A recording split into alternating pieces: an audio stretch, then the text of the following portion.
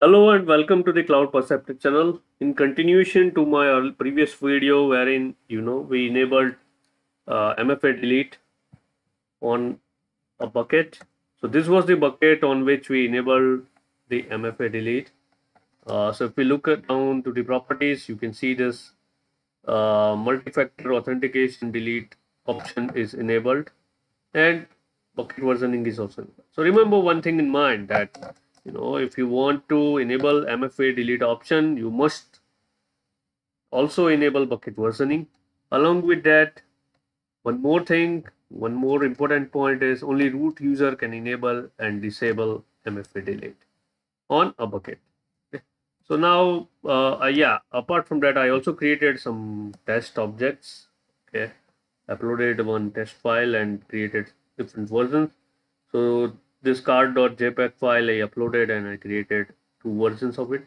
So I'll try to delete this version, you know, without uh, providing any MFA key. So let's go back to the AWS uh, shell. Okay, now I'll type in the command. So sudo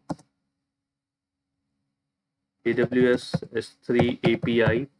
Okay, and uh, delete object one object and it will ask uh, I need to provide the bucket name. So bucket and the bucket name is this cloud perceptor test bucket. Paste it over here. And uh, also need to provide the key. So key is this car.jpg file. Okay I'll paste it over here and uh, I'll provide the version ID okay? Version hyphen ID so take this version ID which is this one okay? Uh, you can enable the versions uh, like to show versions from this okay? This option. Okay I will hit enter now so as you can see we now get an error that an error occurred access denied while calling the delete object operation. MFA authentication must be used for this request. So as you can see this means that our MFA delete is working fine now. It is uh, basically the request we made for deleting this object requires an MFA key to be provided. Okay. So you can uh, just think how secure it, is you know even the even i'm logged in with the root account and i'm not able to delete this file without providing mfa so it is more secured. Okay. Now let's uh, try by providing mfa key. Okay. So we'll provide the mfa key. I'm using uh, Authy android version to generate mfa key okay. So we'll get uh, we'll uh, need the serial number of that mfa so let me click on security credentials. And multi-factor authentication you see the serial number right? You need to copy it from here. And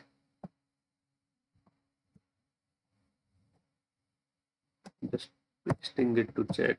Okay. Paste it over here.